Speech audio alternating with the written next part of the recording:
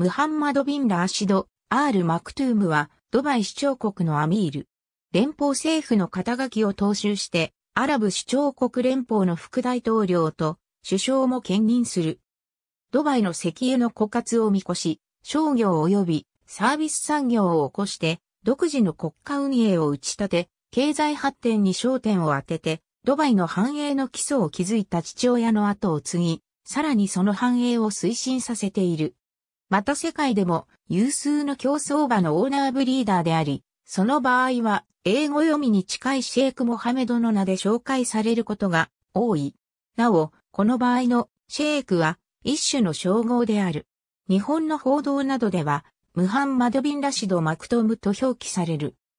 ムハンマド・ビン・ラシド、アール・マクトゥムは、ペルシア湾に面したアラビア半島の南西端の地域に位置し、東にオマーン、南にサウジアラビアと隣接し、同時にカタール及びイランと海上の軍事境界線を共有する7つの首長国からなるアラブ首長国連邦を構成するドバイ首長国のアミールであり、またアラブ首長国連邦の副大統領と首相を兼任する。1949年7月14日、有名なドバイクリーク近くに位置するシンダガ地区に住居のあったアール・マクトゥーム家に生まれる。シャイフ・ラーシド・ビンサイード・アール・マクトゥームの4人の息子の第三子である。兄弟は、シャイフ・マクトゥーム、ビン・ラーシド、アール・マクトゥーム、シャイフ・ハムダーン・ビン・ラーシド、アール・マクトゥーム、シャイフ・アハメッド、ビン・ラーシド、アール・マクトゥーム。競馬に情熱を注ぐ世界でも、有数の競走馬のオーナーブリーダーでもあり、英語読みに近いシェイク・モハメドの名で紹介されることが多い。シェイクは一種のアラビアの称号であり、アラブの指導者という意味がある。アラブ族、家族、または村の主張、または頭である。日本の報道などでは、ムハンマド・ビン・ラシド・マクトムと表記されることもある。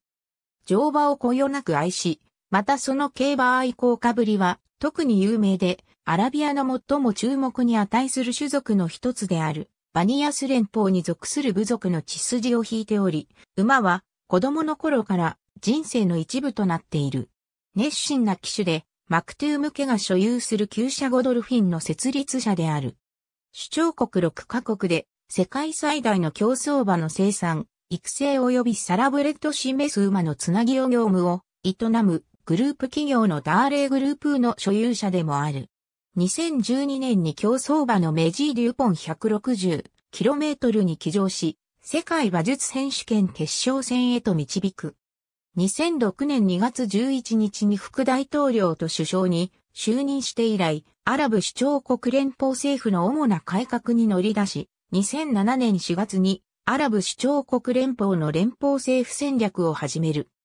2010年にアラブ首長国連邦を2021年までに世界で最も良い国の一つにすることを目的としたアラブ首長国連邦ビジョンに着手する。精力的で権力に富む統率力を具体化し、制約を交わして行動し実行する。卓越し、優れたものだけを強く求める。現在、豪華なビジネス目標に向けて、ドバイの転換を図る責任を負っている。エミレーツ航空やドバイポーツワールド及び高級ホテルチェーンのジュメーラ、インターナショナルを含む多数の主要企業の立ち上げ及び経営だけではなく、世界都市にドバイを成長させる計画の重鎮である。その大部分はマルチ型高く経営や投下資本を有する持ち株会社のドバイホールディングにより保持されており、現在会社の99.67%の株式を所有している。これまでテクノロジーパーク及びエコノミックフリーゾーンのドバイインターネットシティ、ドバイメディアシティ、ドバイ国際金融センター、パームアイランド及び象徴的なブルジュアルアラブの建設を含むドバイの多数の経済的転換プロジェクトの構築を監督した。また、世界で2番目に高い超高層ビルであるブルジュハリファの建築を指揮している。アラビア生まれの詩人としても評価されている。シェイク・モハメドは、ラーシド・ビンサイード・アール・マクトゥーム英語版の4人の息子の三男である。アル・マクトゥーム家は、バニアス連邦に属する部族の一派であるアルブ・ファラーサの血筋を引き、当連邦は現アラブ首長国連邦における大部分の機関を通じて支配的権力を握る部族連邦であった。ドバイの統治者としてのアルマクトゥーム家の在位期間は1833年に始まる。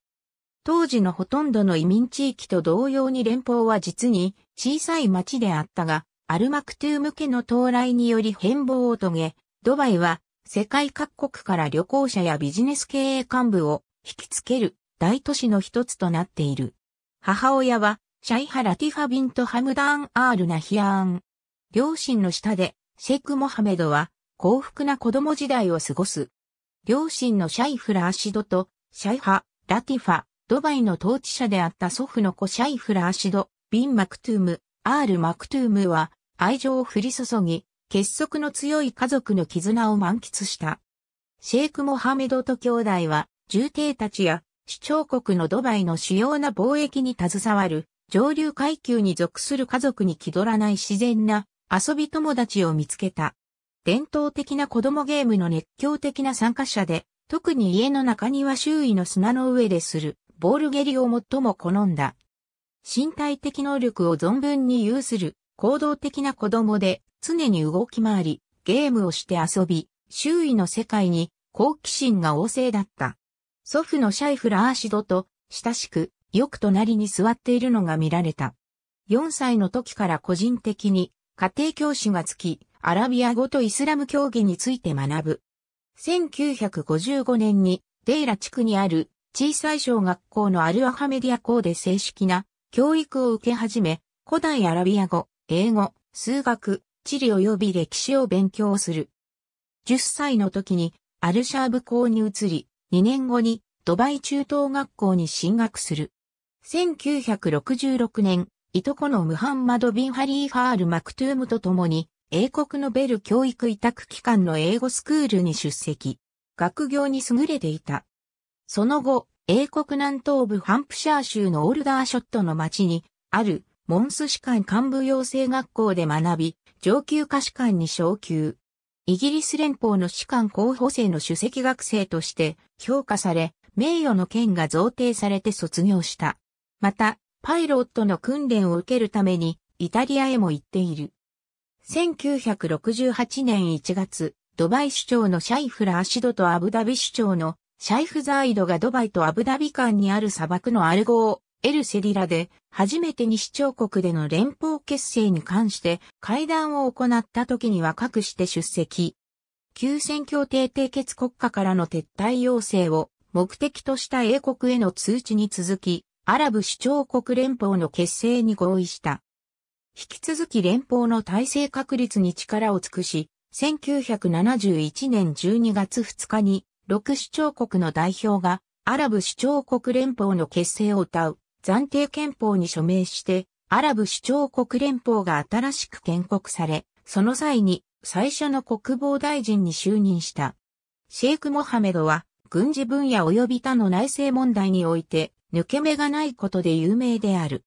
軍事訓練を終えて、ドバイに戻ると、父親からドバイ警察及び後のアラブ首長国連邦軍の参加となる国防軍から地域コマンドと呼ばれているの長官に任命される。アラブ首長国連邦の結成後に不確実で不安定な期間が続き、新しい国境の両側に位置する事情をめぐって部族間の小戦闘が生じた。1972年1月24日、シャールジャ首長国の国外追放になった作は、ビン・スルターン・アールカーゼン首長英語版が、統治者、ハリド・ビン・ムハンマド・アルカーに反抗し、ハントのクーデターを率いた。続く、アラブ首長国連邦軍と、そのほとんどが、ラース・アルハイマから、アラブ首長国連邦に入国した、エジプトの雇い兵からなる、サクア軍との間の激しい銃撃戦後、サクアの降伏を受諾する。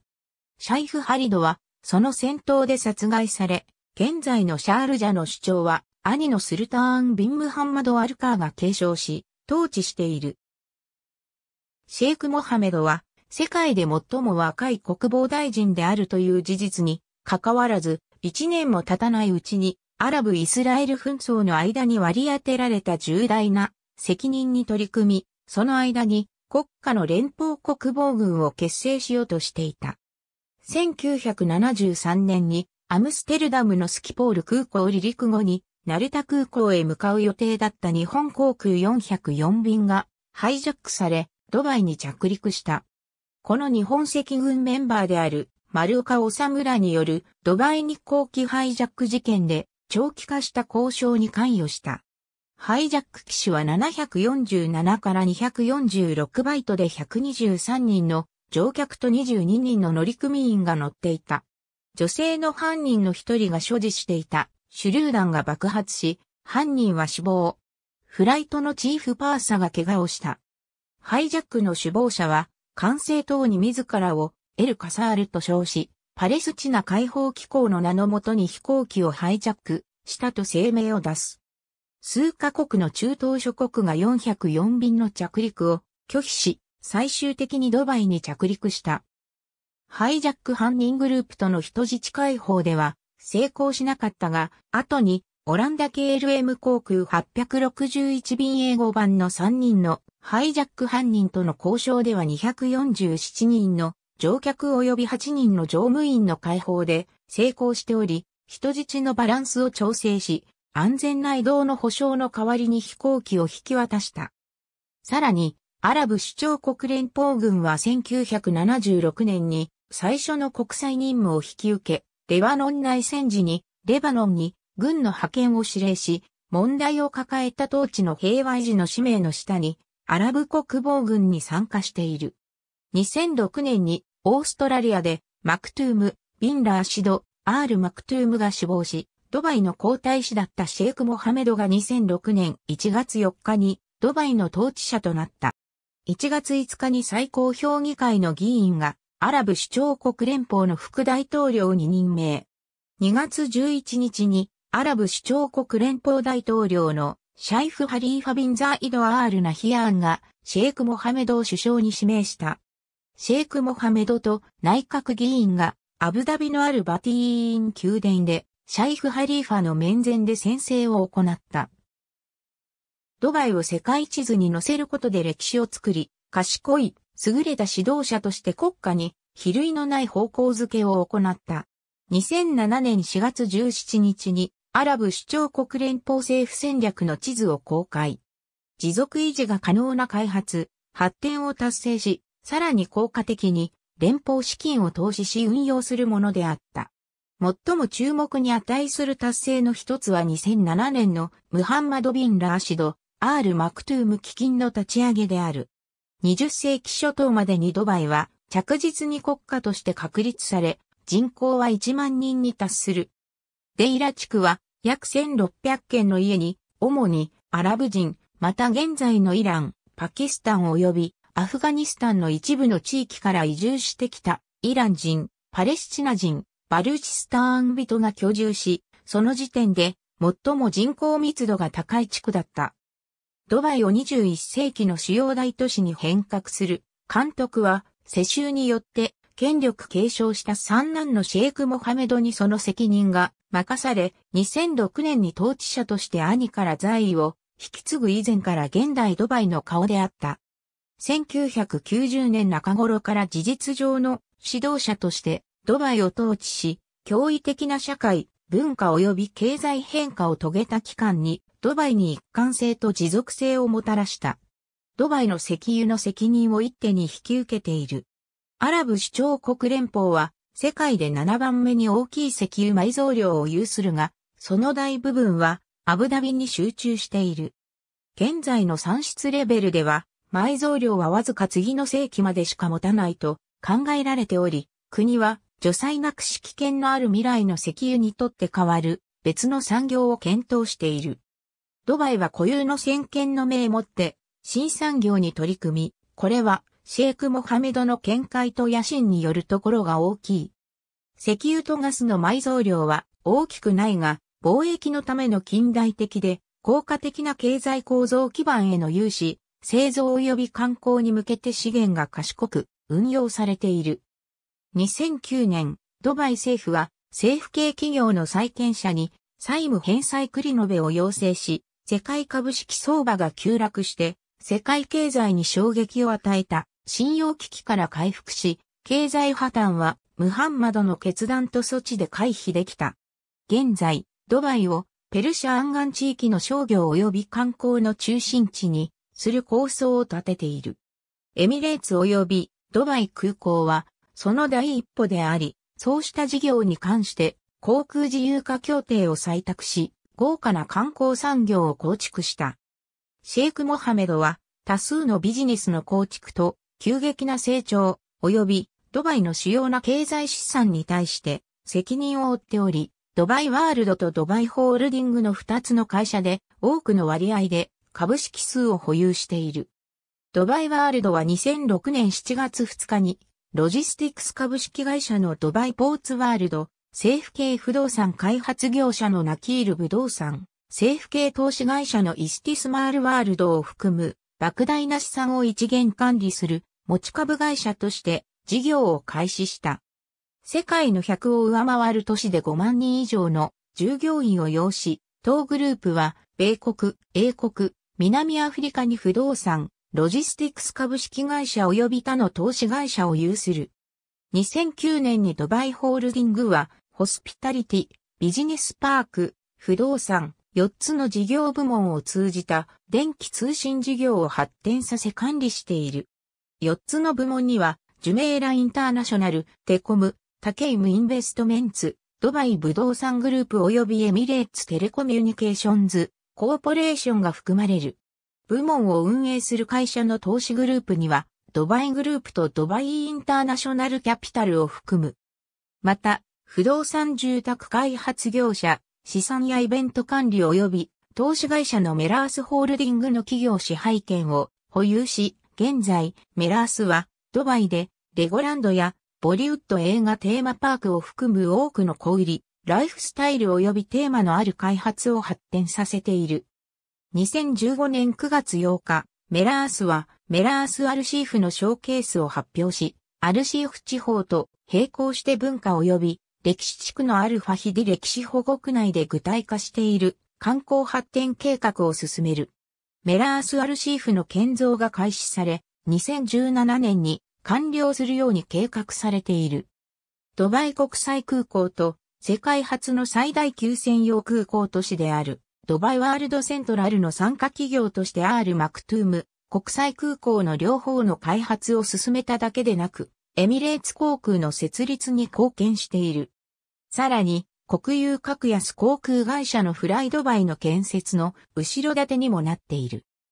2008年9月のリーマンショックによる金融危機で不動産ブームが縮小したことと相まって世界経済が悪化している中、2009年11月25日、ドバイ政府がドバイワールドの債権者に対し40億米国ドルを含む600億ドル近い全債務に関して返済期限を半年以上繰り延べる要請を出し、再度世界的株価の下落を引き起こした。2012年12月12日発表のドバイ経済2012のレポートによると、ドバイ経済はドバイショックから回復したことを示しているが、この時期に多くの日本企業が中東地域から撤退している。シェイク・モハメドは1970年代を通じ、ドバイ国防軍長官とアラブ首長国連邦国防大臣としての役割を務めると同時に、ドバイのエネルギー資源を監視し、ドバイ民間航空の責任者も務めた。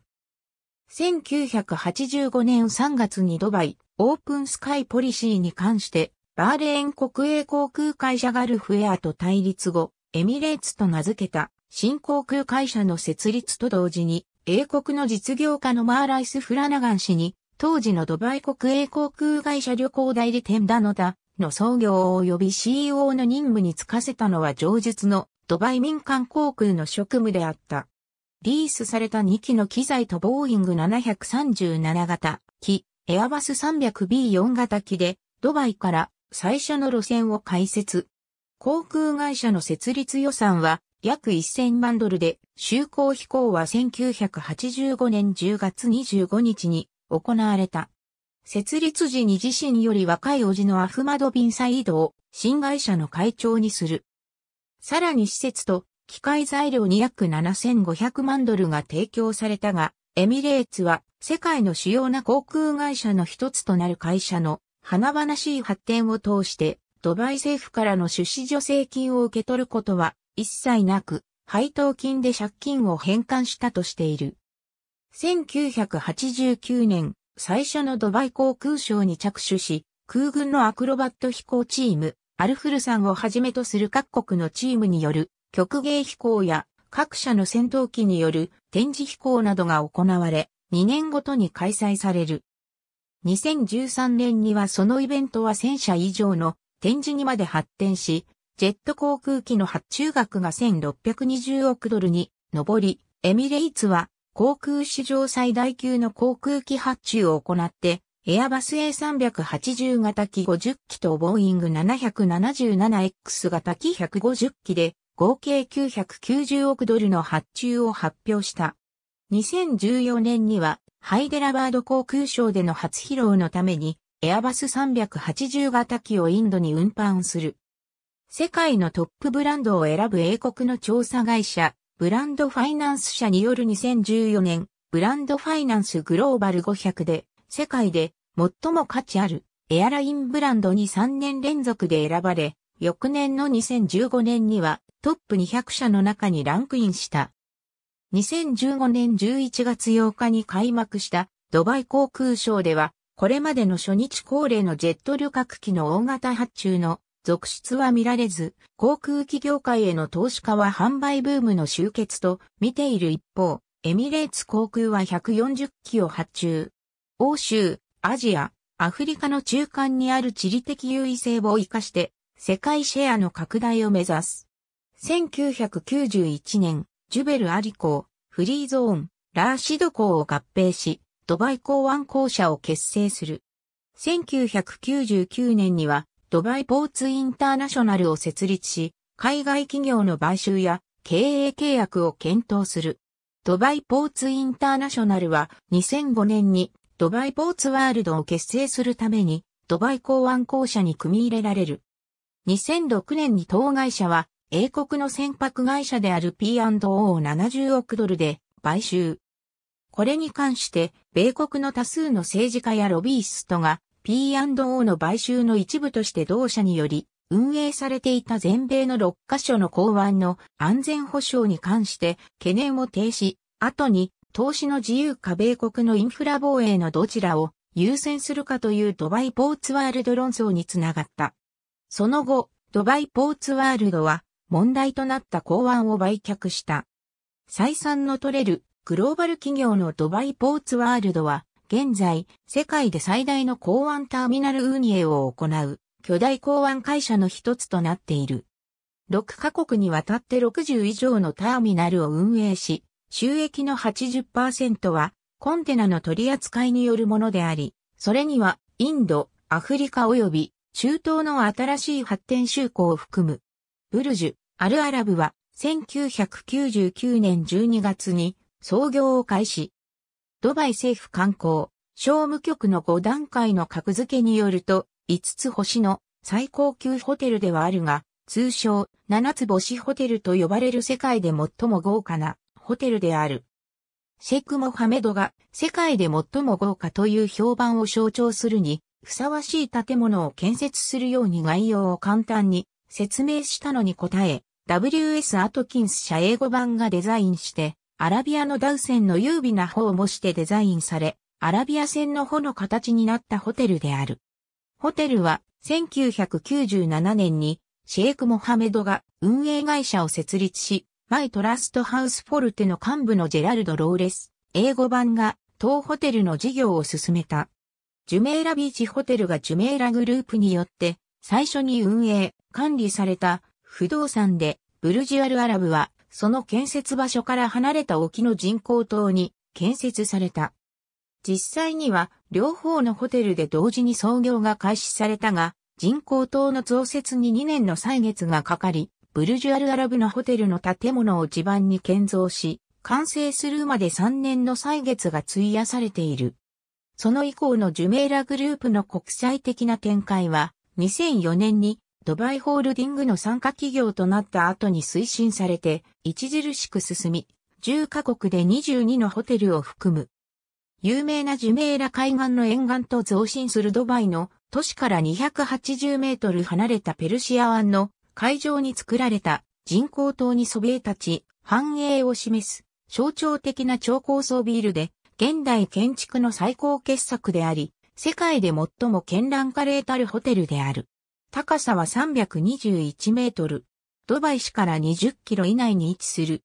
ドバイの海岸線を見下ろし、夜には水と炎を表す演出された照明で照らされ、個性的できらびやかな印象深いホテルである。英語版1999年10月29日、シェイク・モハメドは、テクノロジーハブとジュベル、アリフリーゾーンに設置した自由貿易地域のジュベル、アリフリーゾーンのドバイインターネットシティホーム英語版を発表した。同自由貿易地域には約1500社が進出。物流、情報のハブとなることを施行し、外国資本の導入と世界の最先端技術の取り込みを目的として、会社の長期リース、全所有権及び政府サービスへの迅速なアクセスを提供し、2000年10月の最初のテナントから約1万5000人を雇用する現在の地域に成長した。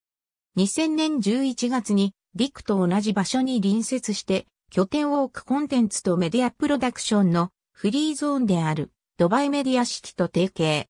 DMC の設立はメディアの自由に関してシェイク・モハメドからの保証がついている。リクは多様な技術と業界専門家を有する広範囲に及ぶ多言語人材銀行へのアクセスを提供する。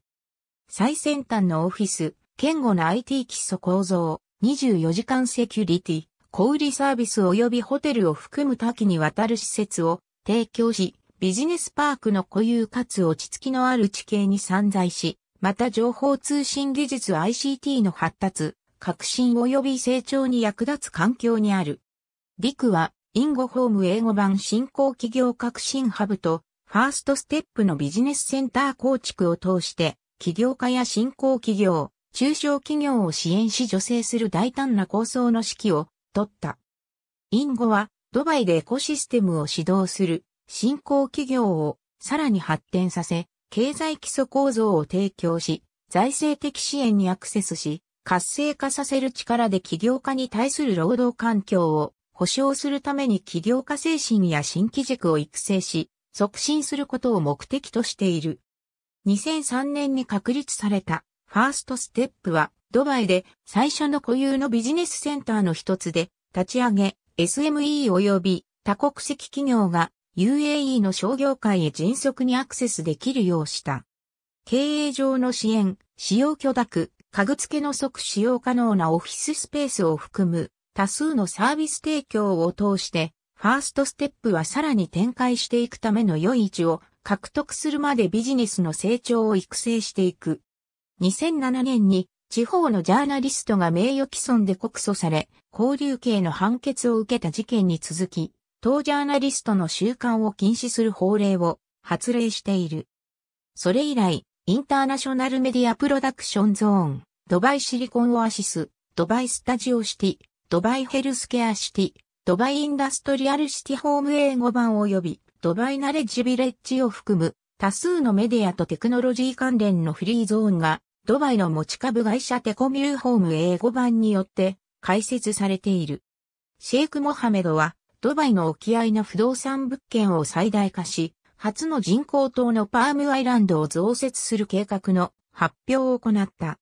最も小さい中央の島の最長の前面は、海岸から1マイル近く離れ、両側に辞書を有する。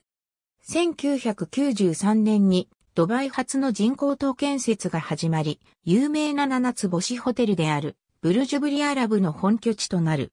人目を引く建造物が周囲の超高層ビルを背景にしてそびえ立ち、その1の919フィートは海に出ており、すぐ近くのビーチリゾートに影を落とさないように配慮されている。ブルジュブリアラブの沖合のビジネスの成功は、さらにもっと壮大な計画の設計の構築に寄与した。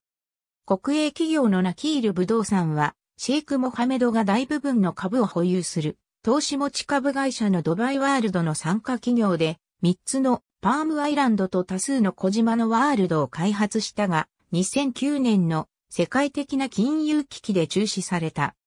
最小規模のパームアイランドのパームジュメーラは完成し、2007年の夏に最初の居住者を受け入れ、英国出身の元サッカー選手のデビッド・ベッカムが小区画の土地を所有している。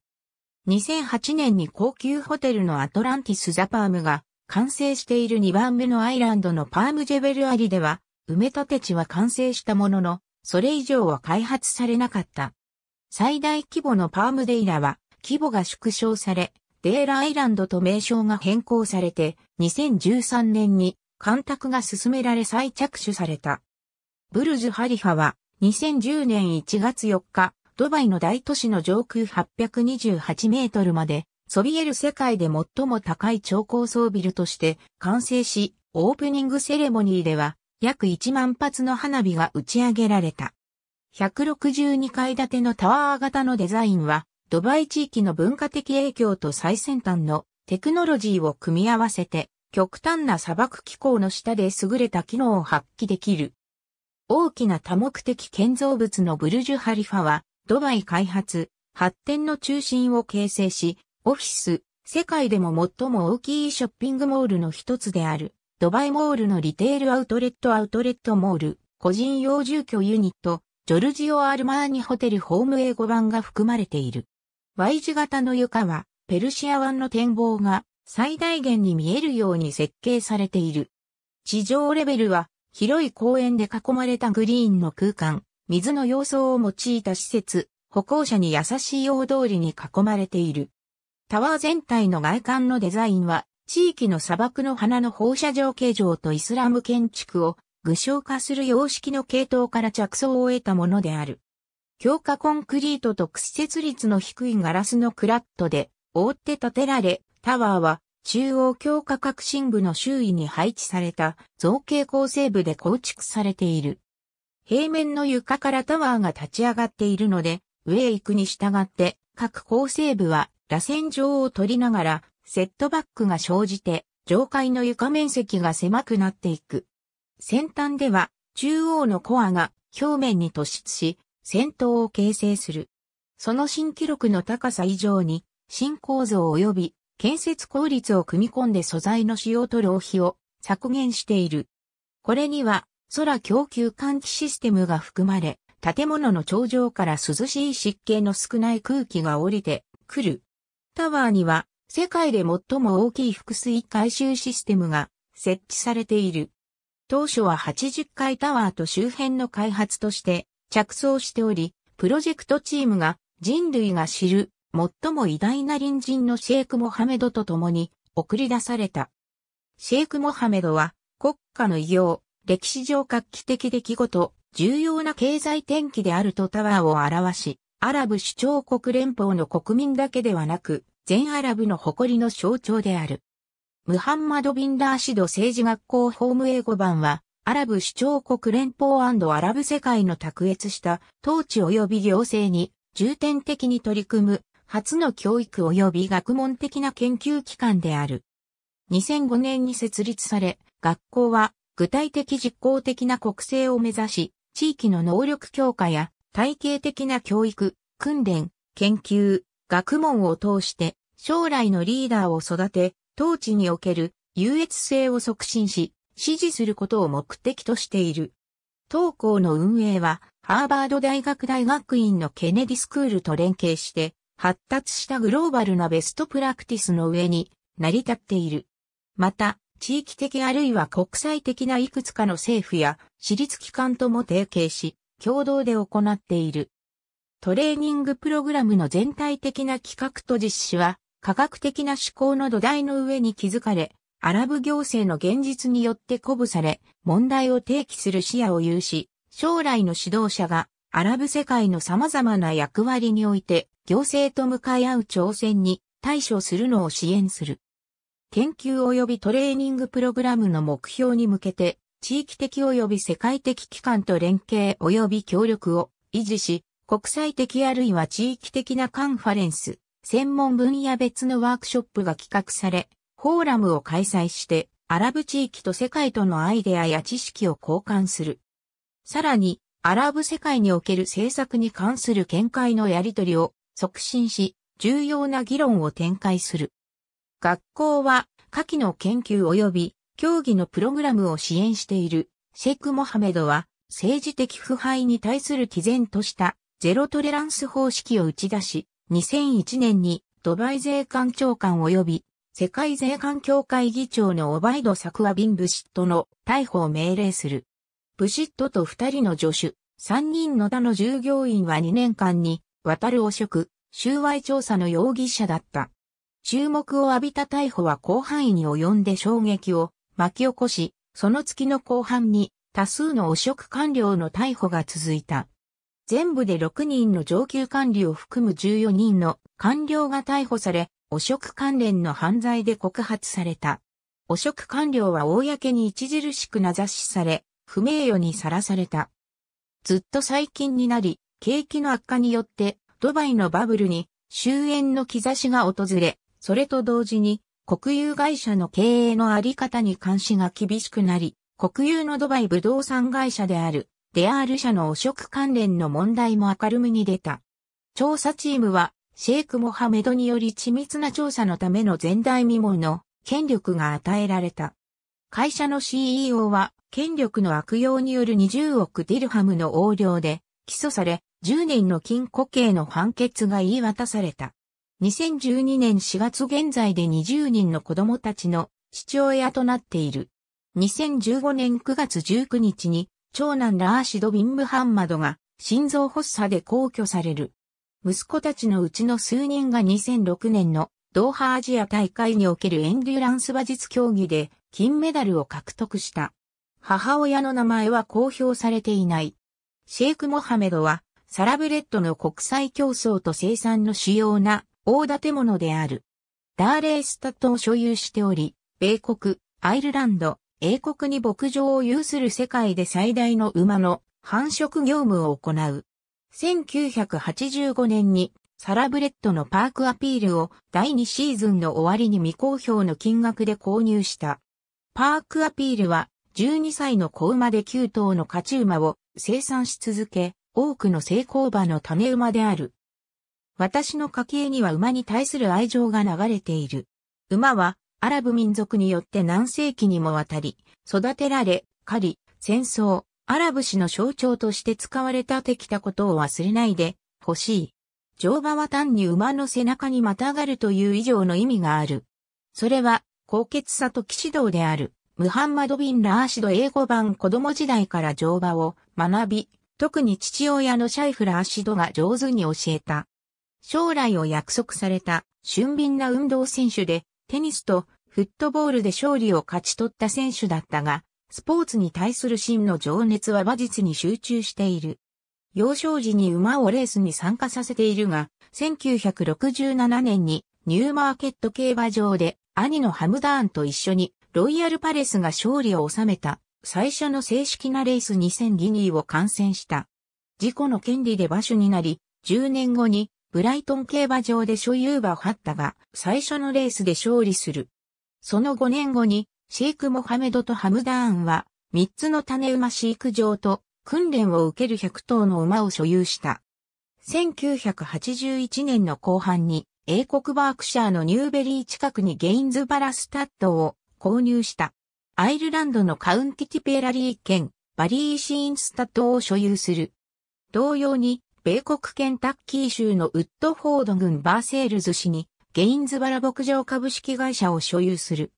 シェイク・モハメドに成功をもたらしたものは単にお金だけではなかったことがすぐ明白になる。1992年までにドバイで馬の越冬を開始し、この頃からしばしば英国の調教師や専門家の助言に反対し始める。その後、競争馬の相次ぐ勝利を果たして注目を集め、ニューアプローチ、1994年に兄のマクトゥームと共に競走馬の生産、管理、調教などを行う組織ゴドルフィンを設立して本格的に活動を開始した。その結果、ゴドルフィンはシェイク・モハメドのアイデアで以前は不可能だったことが十分実行できることを確信させた。1995年にレースに対する専門家から直接手取り足取りで訓練するハンズオンアプローチで筆頭調教師のヘンリー・セシルとの競馬に関する見解の不一致後にシェイク・モハメドの要求した馬が怪我をし、重大な決裂の結果につながった。セシルは議論を公にし、シェイク・モハメドはセシル調教師から40頭の馬を全部引き上げた。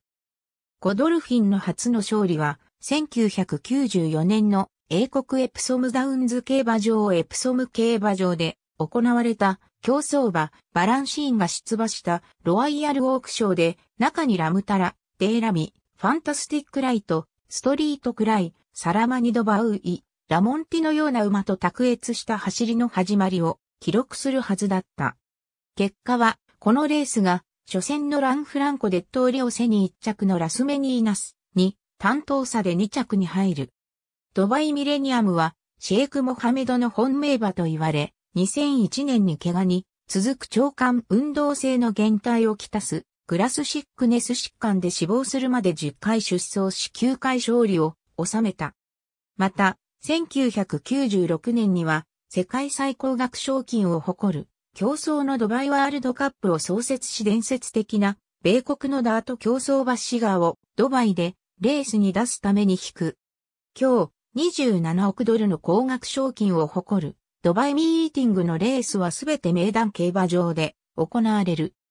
1999年にはエミレーツ航空をスポンサーとしてワールドシリーズレーシングチャンピオンシップを創設。世界の名馬がその能力を競う場を提供した。日本の競馬にも関心を持っており、第3回ジャパンカップにハイホークを出走させて以来、ハートレークなど多くの馬を出走させている。また2003年には日本現地法人ダーレイジャパンレーシングを設立し、法人として地方競馬の馬氏免許を取得。船橋競馬場の川島正幸厩舎などを拠点として活動していた。英国ではモハメド所有馬がイギリスクラシックレースをいくつか含む多数の重要な競争格付けグループ1レースで優勝している。また、アイリッシュダービーステークスとフランスのロンシャイ競馬場で開催される凱旋門賞でも優勝しており、米国ではタネボバ・バーナーディニが出馬した2006年、プリークネスステークスで優勝している。同年のゴドルフィンマイルを優勝した直後のユートピアを400万ドルの移籍金で獲得してゴドルフィンに移籍させている。2008年にバーナーディには460億ドル以上をウッドランズスタッドエンパイアでもたらしている。アラビア馬はその伝説的なスタミナで様々なレースに並外れてうまく適することが証明された。UAE はシェイク・モハメドをナショナルチームの首相としてこのスポーツを行う。1990年中頃に初めて真剣に競馬に参加し始めているが、UAE の騎手は世界で最上であるとみなされている。実際に息子のシャイフ・ラーシドとシャイフ・ハムダーンは1999年と2000年にそれぞれ世界ランキング競馬の競争格付けの首位を占めている。シャイフ・アメド・ビン・ムハンマドは世界エンデュランス馬術競技で優勝し、最も若い騎手で初のアジア世界チャンピオンとなっている。ダーレージャパンは関連会社であるダーレージャパンファーム有限会社が2007年に中央競馬の馬氏免許を取得し、約40億円のトレードで獲得したアドマイアムーンを中央競馬における所有馬第1号とした。しかし、11月1日にダーレージャパングループの代表である高橋力を解任し、11月27日には中央競馬場所登録を抹消申請した。2年後の2009年11月25日、JRA はこの年から認められていた日本国外居住者の場所登録について、ムハンマドが登録したことを発表した。JRA での場所登録名は HH シェイクモハメド。また、勝負服の柄は、エビ、白袖、エビイチボンリン。ムハンマドの登録に合わせて、ハヤーヒとハムダーン大使も JRA に馬主登録したと発表された。2011年には所有馬のデボネアが東京優春に出走することとなり、感染のために訪日している。2018年3月から所有馬の名義をゴドルフィンに変更。勝負服も国際的なゴドルフィンのイメージに合わせた青、袖水色一本輪へと変更した。俊敏なエンデュランス馬術競技の優秀な騎手であり、数々の大会で優秀な成績を残しており、63歳の時に2012ワールドエンデュランス競技の160キロコースで優勝した。また自身が大会を主催することもある。しかし、所有するサラブレッドとエンデュランス競技の両馬がドラッグテストで失格し、調教師は非難を受諾している。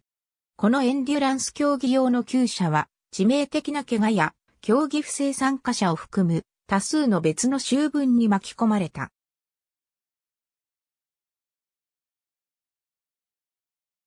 2006年の第15回アジア競馬のエンデュランス競技では、息子のラシッドが個人金を獲得し、またラシッド、アハメド、マジド、ハムダーンの息子たちがエンデュランス競技でチーム金を獲得。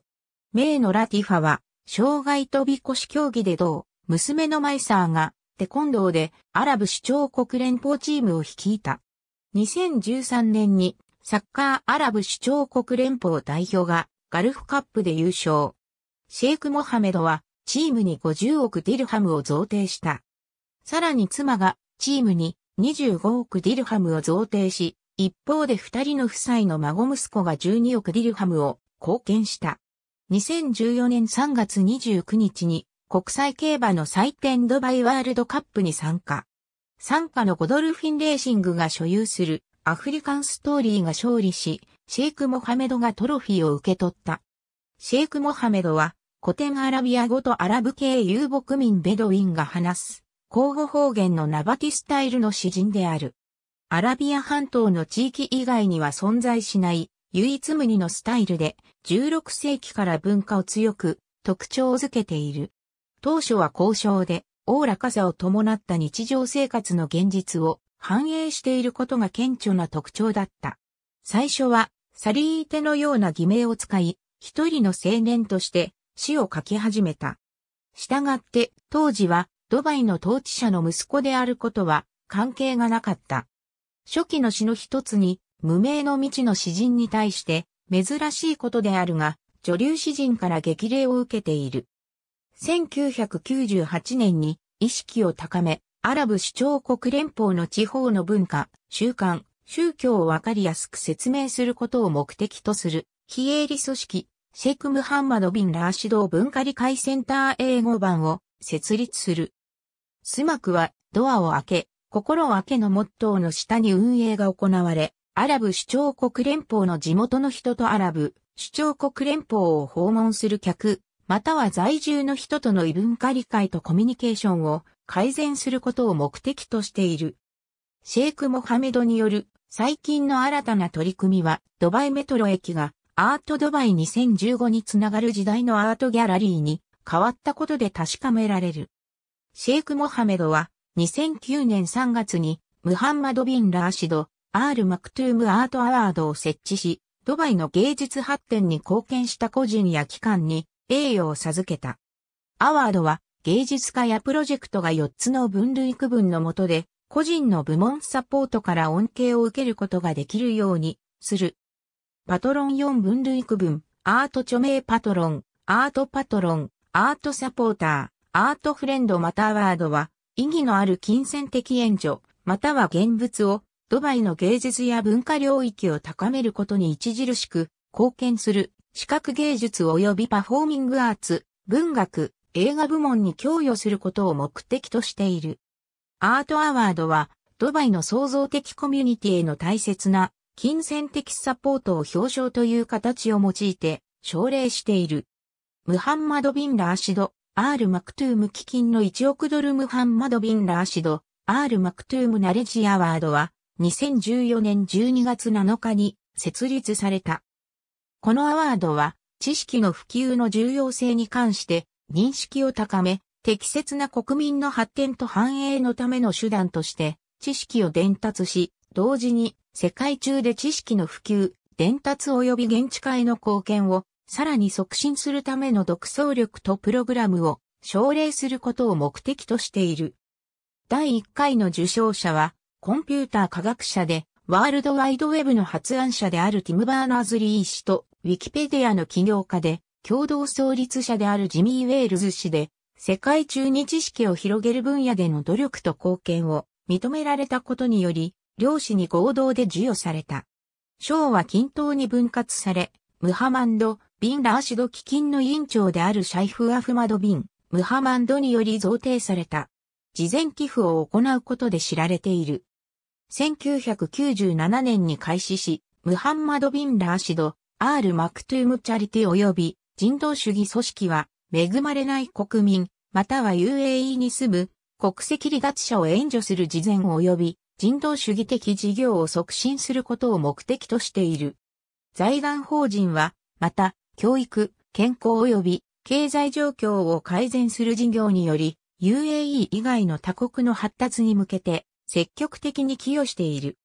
シェイク・モハメドの指令のもとに UAE の副大統領兼首相、ドバイの統治者であるムハンマド・ラーシド、アール・マクトゥーム・チャリティ及び人道主義財団法人はラマダーンの月の間、UAE 内外で事前事業に携わる。常時持続的活動として社会の様々な区分に必要な支援届け、世界中の多数の国の困窮している UAE 国民、居住者及びイスラム教徒に基金を提供する。東財団法人は分かち合い助け合う真のラマダーン精神の24プロジェクトの下で25.6億 AED を超える基金を配給している英語版。2007年5月19日、中東の教育基金のムハンマド・ビン・ラーシド、アール・マクトゥーム基金を設立するために100億ドルを供与する計画を発表。そのお金は、アラブ地域と先進諸国との知識の断絶の架け橋となるように意図しているものだと述べた。当発表は、ヨルダンの2007世界経済フォーラムで行われた。2003年9月、ドバイヒューマニタリアンシティを設立。飢餓や貧困によって苦しむ人々を援助する人道主義的な支援機関のための世界最大のロジスティクスハブに成長し、ハブは9つの国連の援助機関と約50の NGO メンバーなどの営利団体、商業運営、交通機関や物流の専門知識機関をが設置されて、機能の集積が進み、経済の活性化に寄与している。世界最大かつ最も活気あふれる物流拠点として成長してきた。2007年にドバイケアキャンペーン英語版を開始し、貧しい国の1億人の子供たちを教育する資金を集めた。このキャンペーンは2015年までにすべての子供に小学校教育を提供する国際連合のミレニアム開発にドバイが貢献するものである。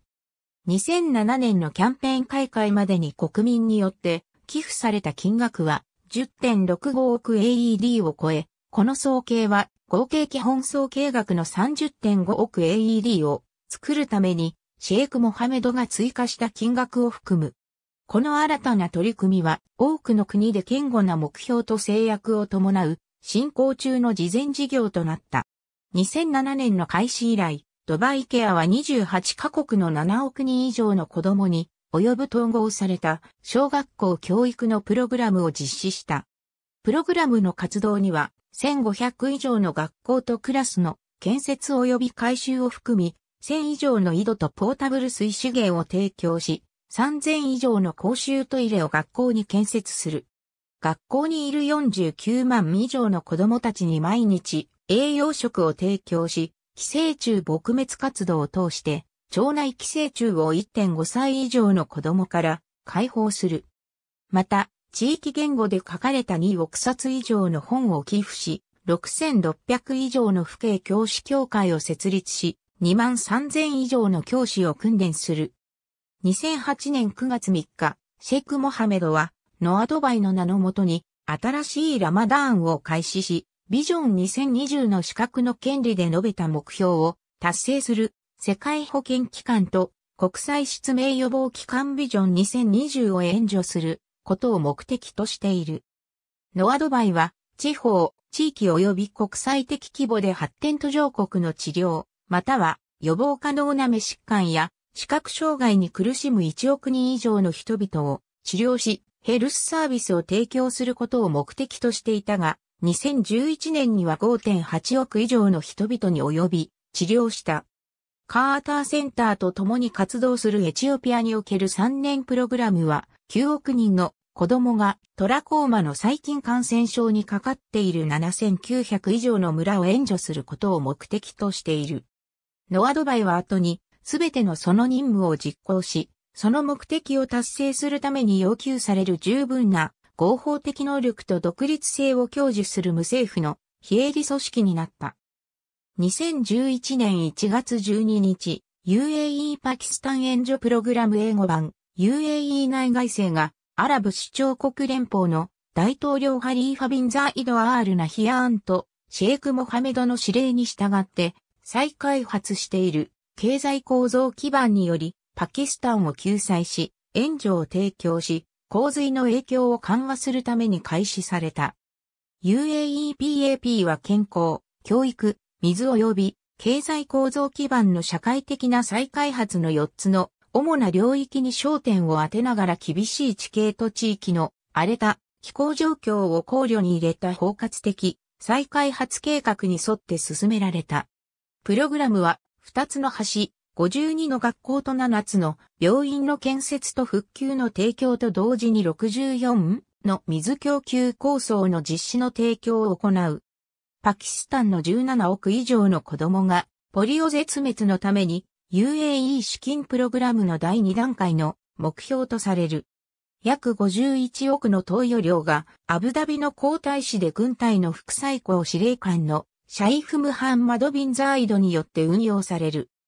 2018年までにポリオを世界から絶滅させる世界的な取り組みのプログラムの一部にパキスタンとアフガニスタンを特に重要視する世界的な理念にシェイク・モハメドが440億 AED を寄付しているのがある。ビル・ゲイツは毎年恒例の手紙の中でアブダビは病気と戦う真のパートナーとなったと述べている。援助プログラムキャンペーンの最初の段階では13億人以上のパキスタンの子供が予防接種を受けたとプログラムを組んだディレクターのアブダラ・アルガフリーが述べた。予防接種は2014年の6月と9月の間に実施された。シェイク・モハメドはパレスチナの大義に多くの事前寄付を行っており、それには2009年のイスラエル侵攻に続き、ガザに600建ての住居の女性の供与を含む。また、パレスチナ人との団結を示すために、新年の祝賀とドバイショッピングフェスティバルの公式の開催を中止し、同時にイスラエルの軍事措置により退去させられた難民に寄付をした。この出来事に対して広がった大衆の反応と、著名な連邦の市民からの寄付の高まりを反映して、パレスチナの国民に対し、2009年1月10日にバーレーンで開催された主なエンデュランス競技で獲得した勝利と賞金を捧げた。シェイク・モハメドはしばしば二国間の紛争解決の必要性を指摘し、イスラエルとの関係の正常化前に、パレスチナ問題に対する合意を交渉した。公式及び米国官僚との会議の両方で、アフガニスタンでの米国の抑制に関して何度も電話をしている。シェイク・モハメドは2001、2002年の米国の爆弾キャンペーンで退去させられた人々に一時的な住居を提供するために2億ドルを寄付。その運動は新たに広がった避難退去のニュースで、浮遊で著名な連邦国民からの寄付の高まりの口火を切り、また攻撃の拡大の結果、生じたアフガニスタン市民の必要性に拍車をかけ、退去させられた家族に家を供給するために、カンダハールにおける村の設置へとつながった。翌年、約1万5千人の難民が一時的に建設された宿泊設備に住むアフガニスタン、パキスタン国境へ送還された。2000年にシェイク・モハメドは4億ユーロをオランダのロッテルダムのエサラームモスクの建設に寄付した。シェイク・モハメドはドバイにドイツの会社のブロムボス社によって造船されたヨットを所有している。350億ドルかけて作られたタコの豪華なヨットは全長162メートルで世界で3番目に大きく乗務員を含み115人まで乗船できる。もともとはブルネイの王子のジェフリー・ボルキア殿下が注文したものであったが資金不足により建設が中止され2001年にシェイク・モハメドがそのプロジェクトを引き継いだものである。浮かぶ都市と呼ばれ Google Earth でシャイフ・ムハンマド・ビン・ラーシド、R・ マクトゥーム・ロゴアイランドの前に停泊しているヨットを見ることができる。YouTube https コロンスラッシュスラッシュ www.youtube.com スラッシュウォッチ v イコールグラコリデックスフロコー。ありがとうございます。